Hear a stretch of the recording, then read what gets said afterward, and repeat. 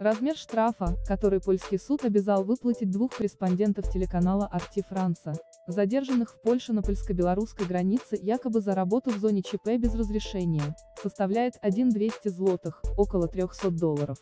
Об этом корреспонденту сообщили во вторник в рассматривавшем это дело районном суде города Сокулка.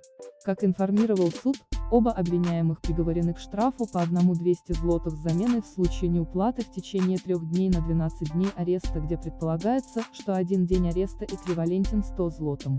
Изначальная сумма штрафа была снижена судом на 200 злотов за один день содержания под стражей после задержания, но суд также обязал ответчиков выплатить государственной казне по 120 злотых в качестве пошлины и 120 злотых в качестве единовременной выплаты судебных издержек.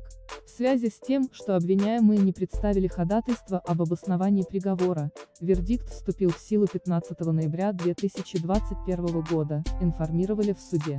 Корреспонденты телеканала «Арти Франца» были задержаны утром в понедельник в районе города Уснаш-Гурны.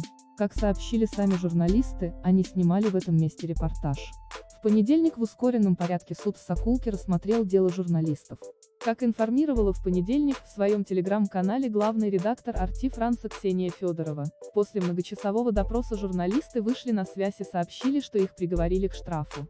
Ситуация на границе. Польша на фоне миграционного кризиса ввела чрезвычайное положение в регионах, граничащих с Белоруссией, не допуская туда посторонних, включая журналистов, с начала сентября.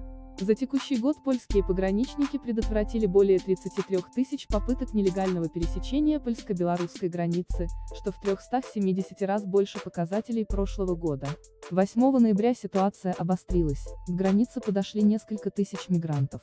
Периодически большими группами они пытаются прорвать заграждение и попасть на территорию Польши. Власти Польши обвиняют в происходящем белорусское руководство, которое, как считают в Варшаве, намеренно привлекает в свою страну мигрантов, чтобы потом направить их на границу с Евросоюзом, дестабилизируя ситуацию в ЕС.